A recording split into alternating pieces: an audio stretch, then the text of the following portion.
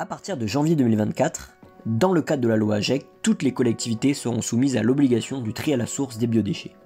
En particulier, la collecte des biodéchets, une solution pertinente de tri à la source des biodéchets, s'accompagne de nombreuses difficultés supplémentaires. Par exemple, la nécessité d'installer de nouveaux bacs ou le faible tonnage de biodéchets produits par ménage. Il existe beaucoup de solutions différentes pour collecter les biodéchets et il est difficile pour les collectivités de choisir la stratégie optimale pour leur territoire. De plus, le choix de la collecte est fortement dépendant des caractéristiques du territoire. C'est dans ce cadre que nous avons développé Biodec, un outil d'aide à la décision destiné aux collectivités afin de les aider à choisir une collecte de biodéchets adaptée à leur territoire.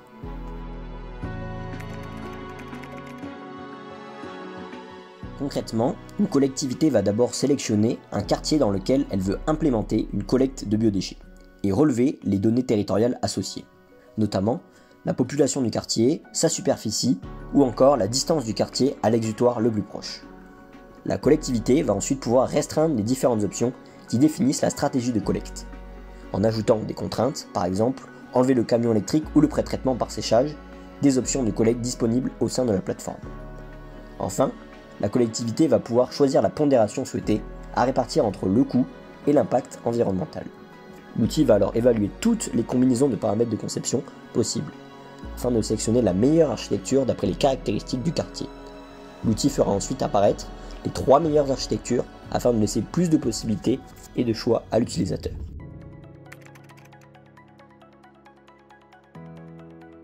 Prenons un exemple concret une collectivité souhaite implémenter le tri à la source des biodéchets dans son territoire.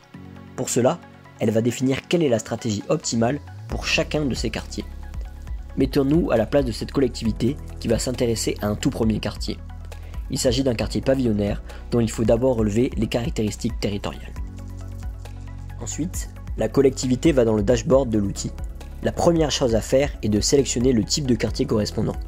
Ici, nous avons un quartier de type rural habitat dispersé.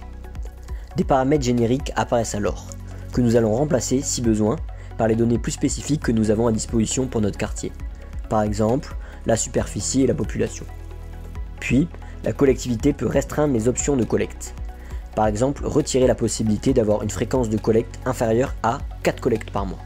Il suffit de décocher les cases correspondantes. Une fois ces données d'entrée complétées, on peut s'intéresser aux résultats de l'outil. Cette partie permet de montrer les trois meilleures architectures en fonction de la pondération choisie. On peut faire varier la pondération entre les considérations économiques et environnementales. En faisant varier le curseur de pondération de 100% environnement à 50%, on voit ainsi que les meilleures architectures retenues changent. Pour le cas intermédiaire, avec une pondération de 50%, on détermine ainsi la meilleure architecture. On peut ensuite regarder l'impact de chaque paramètre dans la section comparaison des architectures. Par exemple, on a ici reproduit la meilleure architecture de collecte pour ce quartier, et on peut regarder l'influence du changement de la fréquence de collecte sur les coûts et l'impact environnemental.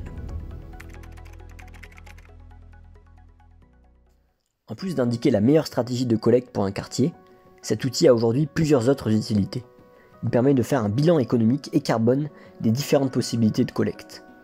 Il peut aussi avoir une vocation pédagogique pour découvrir des nouvelles options et possibilités de collecte des améliorations et de nouveaux développements viendraient renforcer les usages de cette plateforme. Intégrer d'autres critères d'évaluation comme l'impact social, élargir le périmètre d'études en intégrant la gestion de proximité, ainsi que passer l'outil à l'échelle du territoire.